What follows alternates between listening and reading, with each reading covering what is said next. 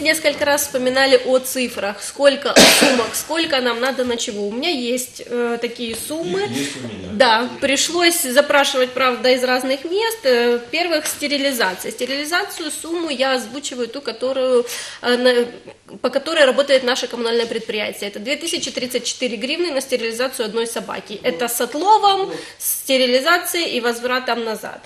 Э, Теперь, нет, э, теперь, значит, следующее.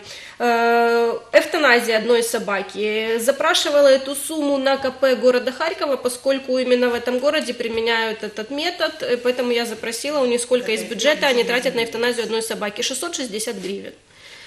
Э, Дальше. Как этот? Систему, которую нам хотя, предлагают зоозащитники, это стерилиза ОСВ и приют. То есть частично, поскольку агрессивных собак выпускать нельзя, мы их будем хранить в приюте.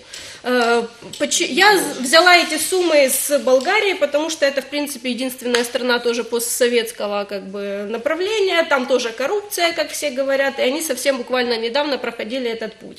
Так вот, э, содержание в Болгарии, в приюте, одной собаки в месяц обходится 505 гри- э, гривен, это я пересчитала наши деньги. У нас в коммунальном предприятии 172 гривны в сутки на одну собаку тратится. Приют на полторы тысячи собак в городе София, обслуживающего персонала на этих собак 10 человек. Ну, это именно те, которые работают с животными, я не считаю административный центр.